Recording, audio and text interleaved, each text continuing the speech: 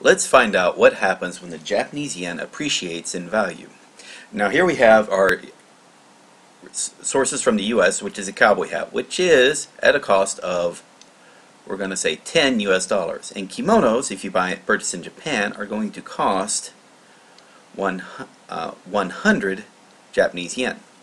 Now we're going to set the exchange rate so that $100 is equivalent of 100 Japanese yen. So what does that mean? How, what does a cowboy hat cost to people who want who uh, from Japan? So if they have to exchange their yen for U.S. dollars, so on the exchange rate of $100 to 100 yen, that means it's the equivalent of 10 yen.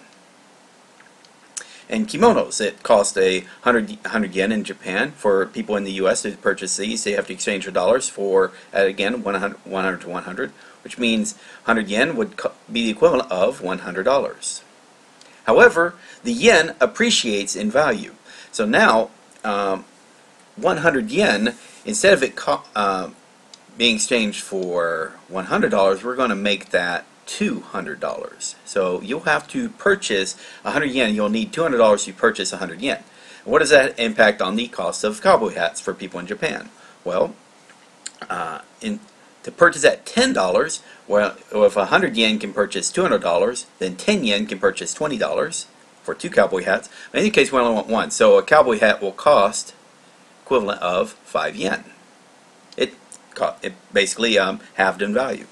Uh, kimonos go in the opposite direction. Now, it stays 100 yen in Japan. So, but someone from the U.S. exchanges uh, money for 100 yen. To purchase 100 yen, they're going to need uh, $200.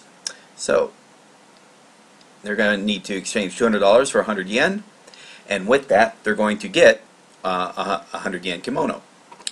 Now let's find out what happens. Now let's let's now what does this do to the economy? So we come down here and we look. So here we have is aggregate demand, which is we're going to say the GD overall uh, purchasing, which is uh, consumption or purchases, government expenditures, investment in capital, exports from the country, in this case the exports of Japan are going to be kimonos, minus imports. Imports of Japan in this case are going to be cowboy hats. Now what happened to cowboy hats? Well, the, the yen, the amount of yen for purchasing cowboy hats went from 10 yen to 5 yen. So supply and demand, that meant that the imports of cowboy hats would uh, increase. Now let's look at exports or, from Japan for kimonos. So well, they they were cost $100 to get the 100 yen, but now they're costing $200 to get to purchase the same kimono. So again, since the price of the kimono increased as far as uh, American citizens are concerned, then the uh, supply and demand says that the demand for exports are going to decrease. Now, since exports decreased and the negative imports increased, that means overall, and everything else stayed the same, overall the aggregate demand for the Japanese economy decreased. So let's graph that on the aggregate supply aggregate demand model.